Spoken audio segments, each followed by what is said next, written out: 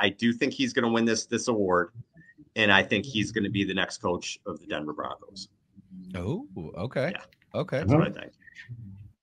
Al calling you Sean. Okay, yeah. I, have got no argument.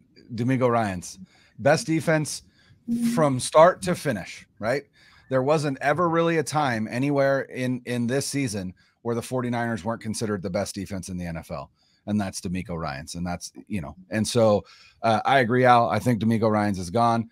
Here's the good news, though. It sounds like Sean Payton is actually headed back to the booth. He's not going to take a, a, a, head coach one of any of these openings, which I think paves the way for Fangio to come back to SF after DeMeco leaves. That's to me, that's best case scenario. Yeah, knock on wood. I know other teams are looking at him too. So, yeah, yeah. But if, but no, if you're no Vic Fangio, Go ahead. Go ahead, Zane. Uh, no argument for me about about DeMeco Ryans. He's turned the following players into studs: Dre Greenlaw, Aziz Al-Shaair, Talanoa Hufanga, Deommodore Lenoir, and basically whoever rotates on the defensive line aside from Armstead and and Bosa. They're all good, every single one of them.